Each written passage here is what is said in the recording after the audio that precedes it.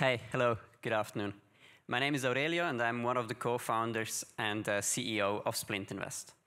And Splint Invest is the easiest way to invest your money in alternative assets. Within our app, we offer retail investors the possibility to invest in physical assets like wine, whiskey, watches, or cars. The beauty of our solution is that we are offering fractional investing.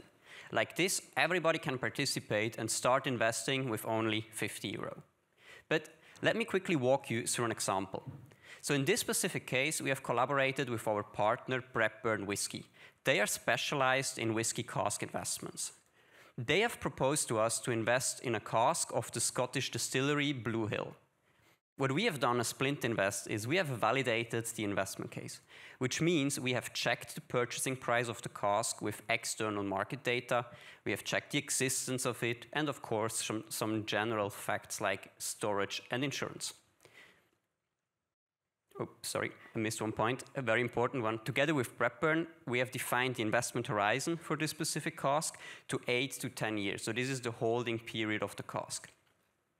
Now, as the next step, we determine the total asset value, which is going to be displayed in the app, as you can see.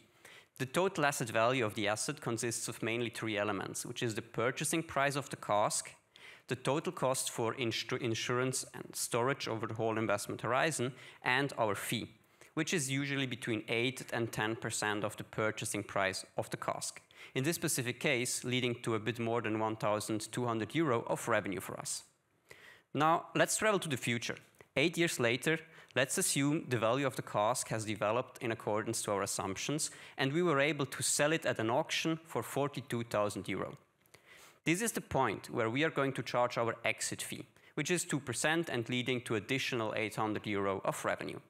This is also the point when our users, uh, the retail investors, are exiting the investment and realizing that they just made a return on investment of, 10, of over 10% per year over the last eight years.